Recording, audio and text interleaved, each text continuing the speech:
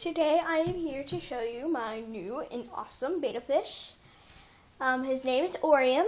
It's Mario sounded backwards. Um, he's really cute. He's kind of small and his tank looks very awesome. And yes, his tank is Mario themed. Well, kind of Mario themed. But, but yeah. So, Orium. There's Orium. Speed to the boy. Yep.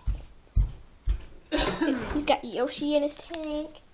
We need more. Well, I guess that water's good enough. Yeah. His castle sticks up the top. There's Oreo. Right there. There's my Mario spelled backwards. His nickname's gonna be Oreo. So yeah, guys, there is Orium. A very un unique name. There's receipts in here.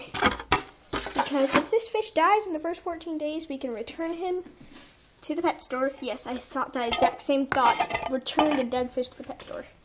And he'll be good. And we can get a complete new fish for no cost because of a refund. Oh, yes, you're so sweet. Yes, you are. Yes, this fish is sweet.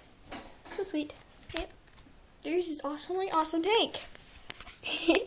Pink for a oh boy fish. I just realized that.